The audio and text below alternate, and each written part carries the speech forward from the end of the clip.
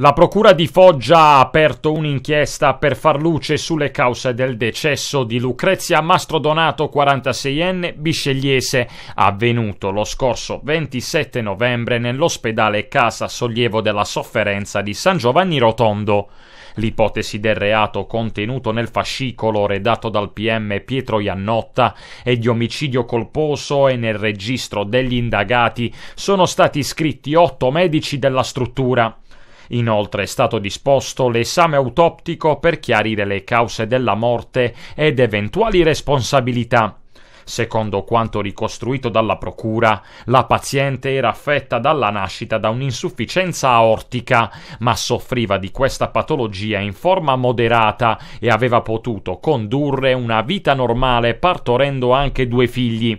La 46enne successivamente si era rivolta ad un cardiochirurgo che aveva deciso di sottoporla ad un intervento di sostituzione della valvola aortica. La delicata operazione effettuata lo scorso 23 novembre, durata sei ore, sembrava apparentemente riuscita, invece la donna quattro giorni dopo è morta nel nosocomio della città di San Pio.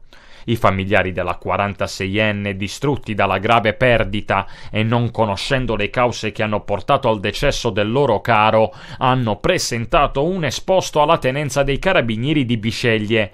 Il PM Iannotta ha quindi avviato le indagini e lo scorso 23 dicembre ha emesso un avviso di garanzia nei confronti di otto medici, due di Roma, due di San Giovanni Rotondo e uno rispettivamente di Corato, San Marco in Lamis, Bari e Foggia.